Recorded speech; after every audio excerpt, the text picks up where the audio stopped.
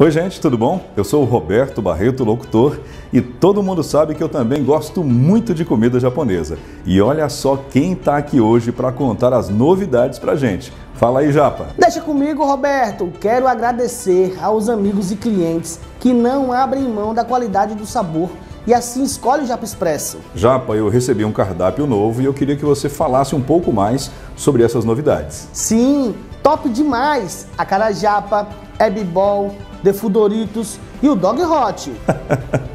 Aí você falou japonês comigo, cara. Eu não entendi nada.